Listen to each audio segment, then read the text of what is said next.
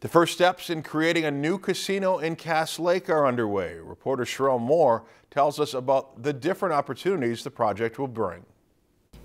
It's in an ideal location, right on Highway 2 in Cass Lake. After months of planning, the ground was finally broken on the new Palace Casino. Taking a look at Indian gaming in its history, what Indian gaming has been able to provide to uh, Indian, you know, to reservations and, and, and tribes it's allowed them to diversify, help them build their own economies, help them expand services. The decision to make a new casino came after much thought and consideration. The project was given the go after an 80-20 vote from the Leech Lake Band membership. We did a good feasibility study and really kind of took a, um, a good look at, you know, what, what is the amenities that we need, what is this new casino going to look like compared to the, the casino that we already have? This dirt represents more than just a brand new casino.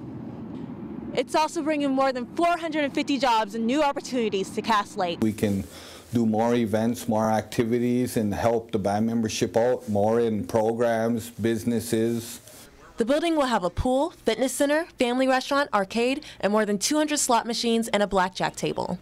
The architects will be working closely with the council in the next coming months to make the vision a reality. As Leech Lake Tribal Chairman, I want to thank the Shakopee Mdewakanton council and uh, community members for allowing this to happen with helping us with our financing. You know, it means a lot to us here. And we really feel that this is a game changer for, for Leech Lake, being that the location change. Obviously, there's a lot of reinvigorating of the town that people are kind of seeing.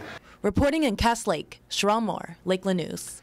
The new casino is set to open in the summer of 2019. If you've enjoyed this segment of Lakeland News, please consider making a tax-deductible contribution to Lakeland Public Television.